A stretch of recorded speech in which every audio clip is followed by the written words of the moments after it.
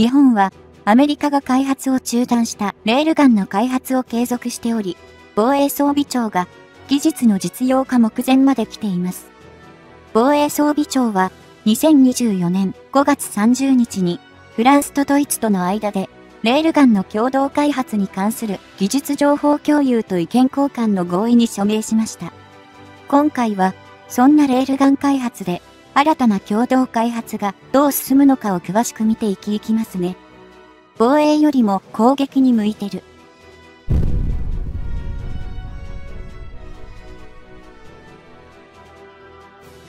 太平洋戦争に敗北を喫した後の日本にとって唯一の軍事同盟の締結先が敗北の相手で世界最大の軍事力を要するアメリカ。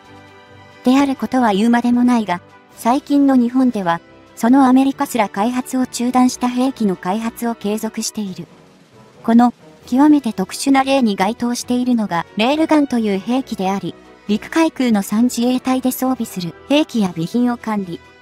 監督する立場にある防衛装備庁は、同兵器の実用化に向けた取り組みを今も続けている。もっとも、直近のレールガン関連の話題で言えば、日本の防衛装備庁は、この2024年5月末に、フランスとドイツとの3カ国間での同兵器の共同開発を目指し、その技術的な情報の共有と意見の交換を行う合意文書への署名を行ったことが報じられた。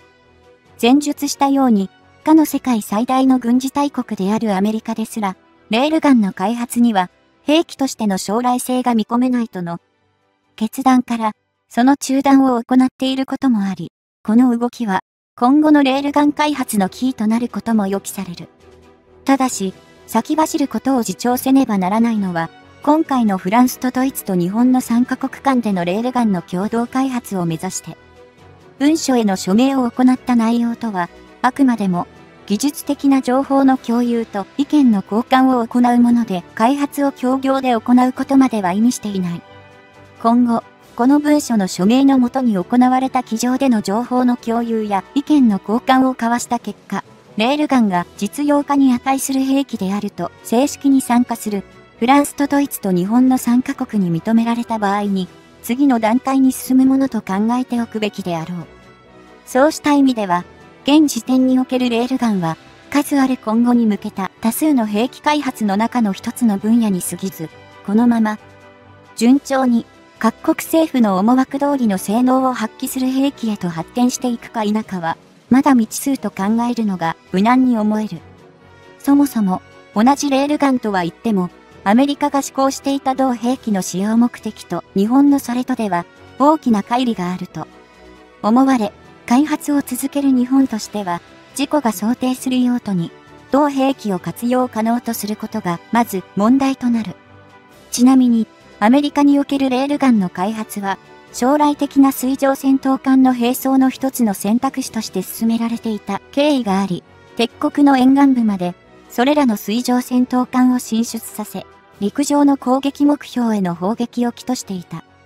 アメリカ海軍では、現行の水上戦闘艦が搭載する、マーク45等の手法の射程距離が、最大でも 40km 弱であることに比して、計画していたレールガンでは、同およそ 370km にも及ぶ長大な射程距離を獲得することを目的に置いていた。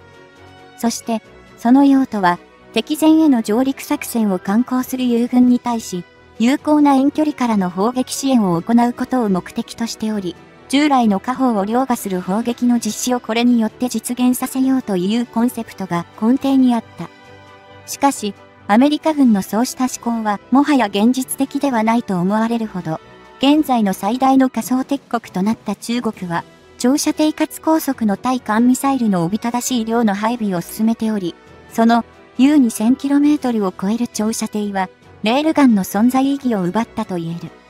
しかも、そうした中国軍の長射程かつ高速の対艦ミサイルは、言うまでもなく誘導兵器であり、無誘導のレールガンの砲弾に比して、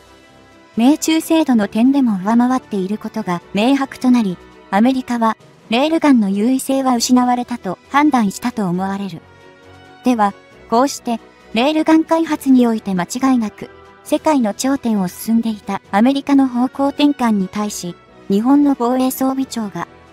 どのように、レールガンという兵器の実用化を目指しているのかを、公開された資料から確認してみたい。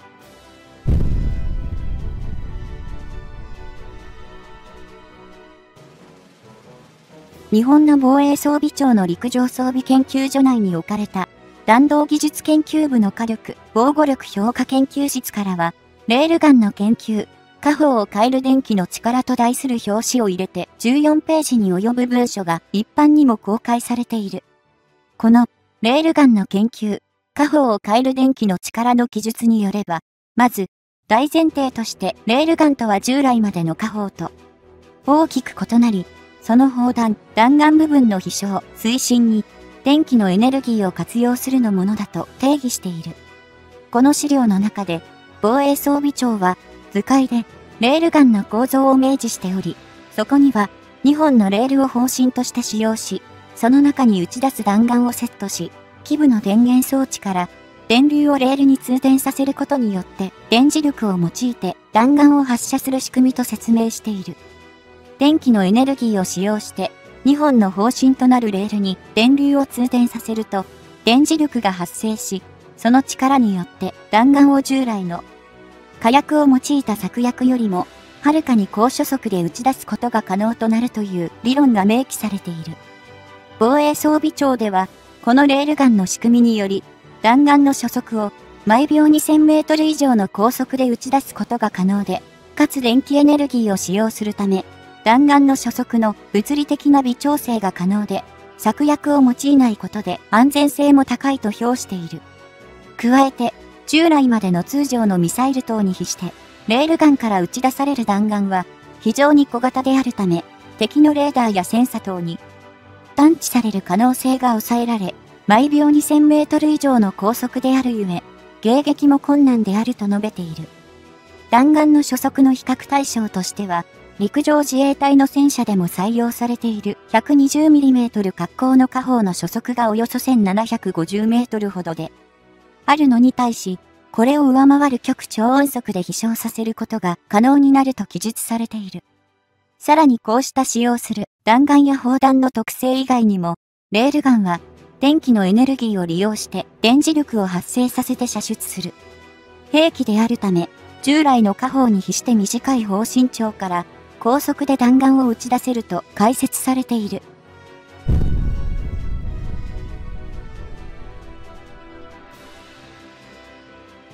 そして、防衛装備庁によれば、アメリカがレールガン開発を断念した有効射程距離に続く、二つ目の大きな理由、連続発射がレールの摩耗によって著しく困難となるとされた点についても、方針の寿命をおよそ120発以上とすることを掲げている。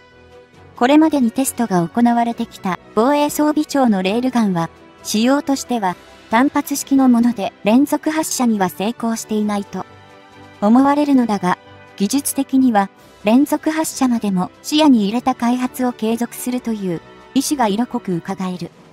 ちなみに、これまでに防衛装備庁がテストに用いてきたレールガンは全長約6.0メートル、本体の総重量約 8000kg、口径は 40mm の小型のものから全長約 160mm、重量約 320g という小型の弾丸を射出する単発式となっていた。今後は、口径、弾丸とも大型化を図り、威力の増加と連射性能を向上させるとともに、使用する用途としては敵の発射する。極、超音速兵器の迎撃を担う兵装と一つに加えること、敵の艦艇及び地上の目標に対して回避不可能な打撃を与えることが謳われている。この用途面についての解説での日本のレールガンは、敵の極超音速兵器の迎撃を担う兵装とする場合には水上戦闘艦に搭載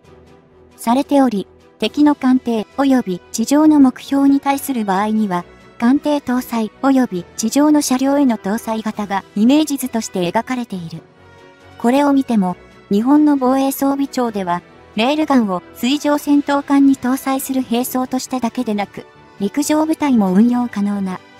リソースとして活用する意図を持っており、アメリカ軍が想定していたものとは相違があることは間違いなさそうだ。